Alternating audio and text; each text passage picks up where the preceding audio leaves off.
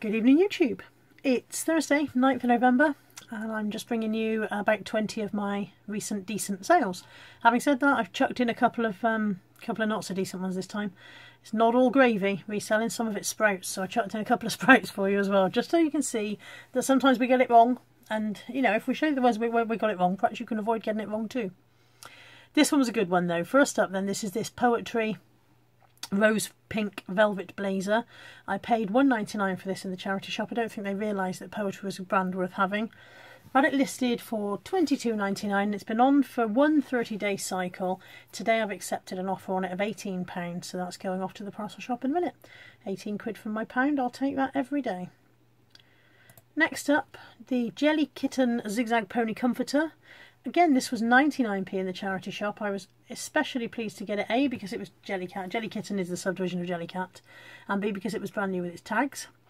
Also, the good thing about Jelly Kitten tags is they always tell you what the actual item's called, which saves on the research somewhat. So this is the, it says on the tag, I am a Zigzag Pony Soother.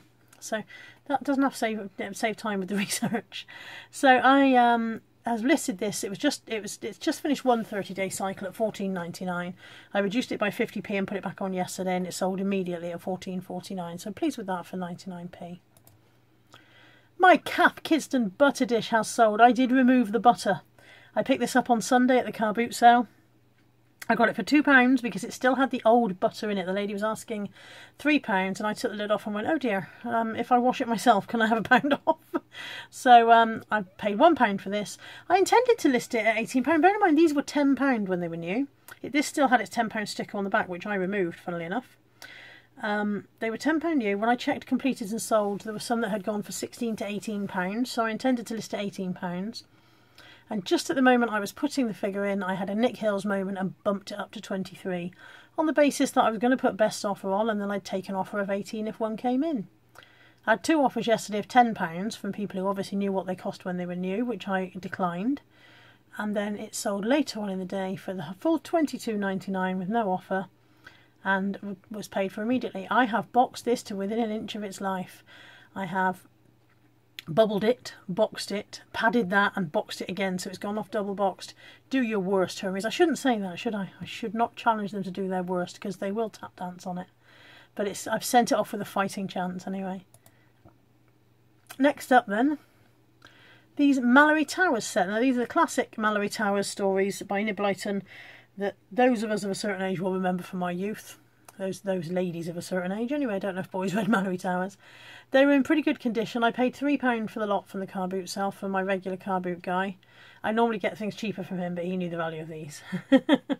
so, um, yeah. Oh, look, it's popped up with a scan thing in the corner. How do I get rid of that? I don't know how to make that go away. Close. There we go.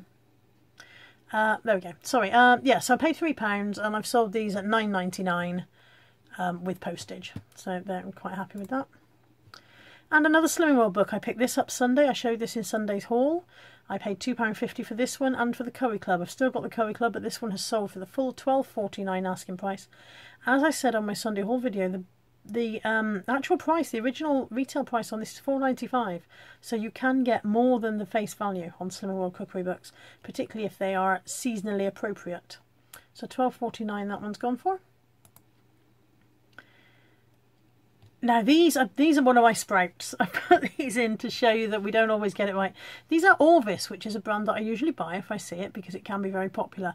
I bought these in Taunton when I was there with Caroline one day, and they are fugly. They are fugly, fugly trousers, and fugly often sells. These did not.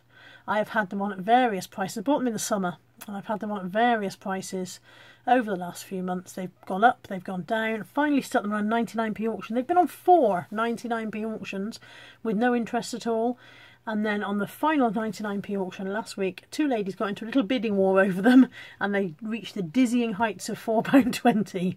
I think I paid about £3, maybe £4 for them. So if I'm lucky, I've just about got my money back. Sometimes we get it wrong.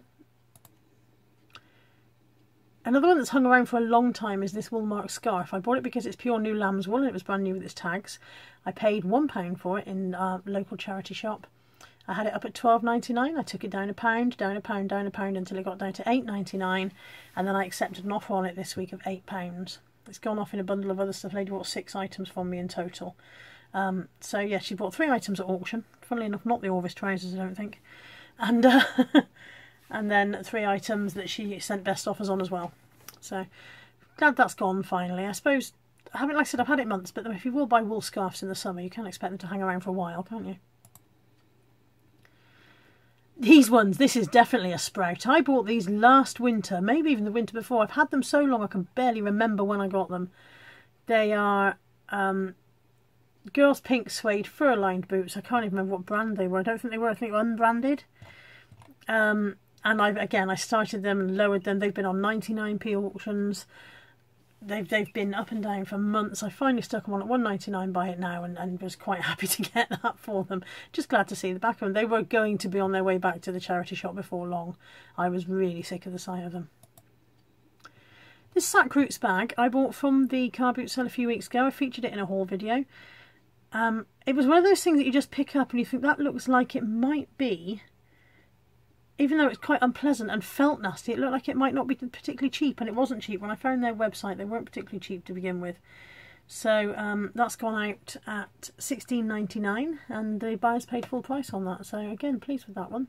I think I paid a pound. Might have been fifty p, but I think it was a pound. It's Knorr Turkish meatball mix. When I was on holiday a few weeks ago with my friend, we were in the supermarket in Turkey, and she picked up a couple of packets of this, and I joked with her about whether she was going to make meatballs in her room. We in mind, we weren't even self-catering; we were uh, we were all inclusive. And she said, "No, I'm taking it home. I really like this meatball mix, and you can't get it very easily in England." She said it's about five quid on eBay. I said, "Oh, is it?" She said, "Yeah. Every time I look to buy some, it's about five pounds." She's right. It is. Look, five twenty nine. I picked up five packets, listed them while I was still sitting in my all-inclusive hotel room, and I've sold two so far. Five twenty-nine. The they they they cost um, three lira, which works out about seventy odd pence, seventy or eighty pence. So yeah, five pound twenty-nine with free postage, but of course they go as a large letter. So yeah, worth picking up. I'll sell anything. If it's not nailed down, I'll flog it. This is why the dog doesn't stand still too long. This animal bag and matching purse came from the car boot sale a couple of weeks ago. Um, it's gone within a week of being listed. I listed it at fourteen ninety nine. I did accept an offer, although it doesn't show on here. I accepted an offer of twelve ninety nine. Uh, I paid a pound for the bag with the matching purse, so yeah, quite pleased with that. I've got to stop saying quite pleased with that. And this George plus size jacket also came from the car boot sale. I bought it with the idea that I might wear it, but when I put it on, it didn't suit me. Um, I paid a pound, and it's gone for fourteen ninety nine. This Coldplay mug came in a bag of, fill a bag for a pound from the car boot guy. Um, I was with my friend Deb Stevens at the time and we just we said that's an unusual mug, we'll chuck it in. When we came home and looked it up, it goes for more on Amazon than it does on eBay. But because it wasn't new and I don't do Amazon anyway, um, I just I listed it with slightly spoon marked inside and it's gone for, I took an offer of £8. So £8 for, you know, something that came in filler bag for a pound. Quite happy with that. And the bedtime bear cost me a pound from the charity shop. These Mothercare, Mothercare and M&S bedtime bears are always worth looking out for. This one sold again within a week of listing and it's gone for eleven ninety nine. Now the story behind this is that there was a an advert on my local Facebook selling page, large black sack of DVDs for five pounds. She'd put a picture of, of what was there and I could see there were a couple of Harry Potters and um, not not a lot else, but you know, I just thought for all those DVDs for a fiver, there's bound to be something in there worth having. I'll just Music Magpie them. You know, I'm bound to get more than a fiver. So I brought the bag home. I took out the Harry Potters, which I needed to add to bundles. Um, and I set about going through with the Music Magpie scanner on my phone for the rest. And most of them came in at 3p, 5p, 7p. This one came in at £2.50.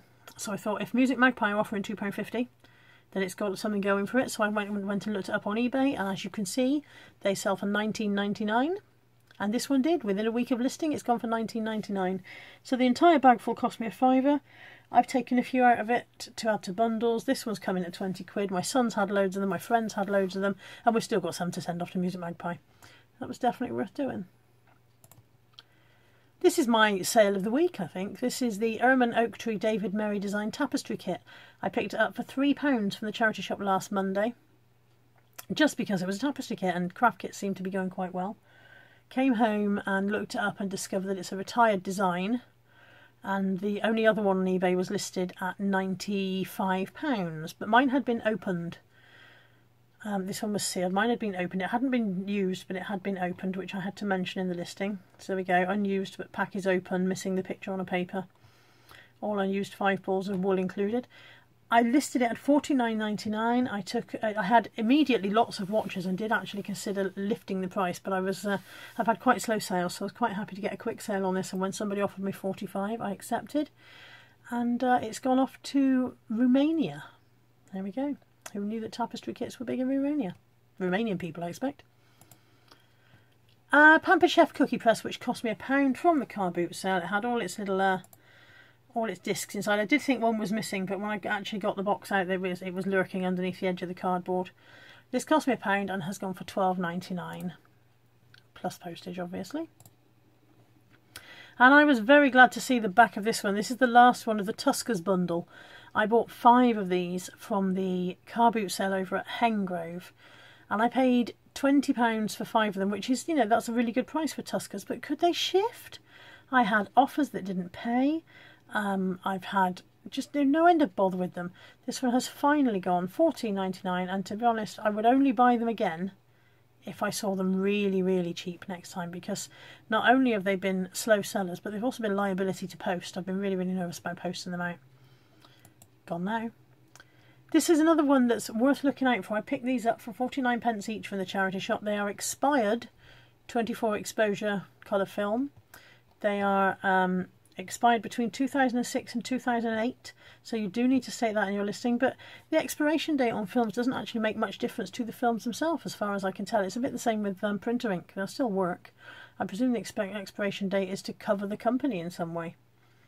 But um, yeah they sold for 9.99 and I've had decent feedback on those. The customers pleased with them so £2.50 into a tenner worth doing if you if you can pick them up. Sometimes you can pick them up even more cheaply at car boot sales. I've picked up films for 10p before, you know, in a box marked, you know, everything 10p. Have a rummage around, see what you can find, make up a bundle. And finally, this is Zig from Zig and Zag, which you may remember from Going Live with Philip Schofield, I believe. Was that called The Gopher? No, Zig and Zag was the Big Breakfast show. Good Lord, don't listen to me. I don't know what I'm on about. Zig and Zag was the Big Breakfast with Chris Evans and Gaby Roslin, wasn't he? Yeah. Anyway, this is Zig. I bought him, I think, from the car boot sale. I don't think I paid very much for him. And when I bought him, I thought, well, he'll sell. You know, he's nostalgia and all the rest of it. He's hung around for ages. He did that thing I've noticed several times that when you give up on something it sells. So i mentioned him in a haul video either last week or the week before. Some we were talking about nostalgic things you remember and somebody mentioned zig and zag and i said oh i've got one of them but he just won't sell. With that he sold. So there you go. Find the item that you want to shift. Look at it discouragingly. Say well you're never going to sell are you? And there you go. It sells just like that. It's like magic. So he's gone for 9.99 plus postage. And that's it. I think that was about 20 uh, so I will get this video uploaded for you guys. If you've enjoyed this, please please leave me a comment below. I always like to read your comments. I do try to reply to them. Um, if you've enjoyed this and would like to see more, please subscribe to the channel. I believe there's a notifications bell you can press somewhere that will let you know if I'm going live and or if I upload a new video. And I think I can feel a sneeze coming on. So I will say goodbye. Take care now. Bye-bye.